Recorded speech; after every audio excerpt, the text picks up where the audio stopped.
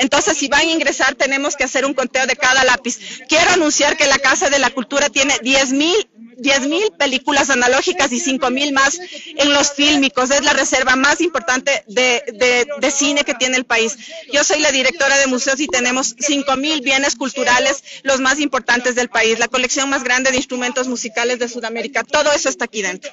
Ya les hacemos responsables si cualquier cosa pasa. Hacemos un conteo y no pasa nada. Tienen que contar cada lápiz. Nos vamos a ir, entran a cada oficina, lápiz 1, hoja 1, borrador 2, así, así hasta que conten el último de los bienes y allí pueden ingresar y tomarse la casa. Ese es el procedimiento. También se ha implementado el procedimiento dado que han ingresado pues, a, a esto, esto es ilegal.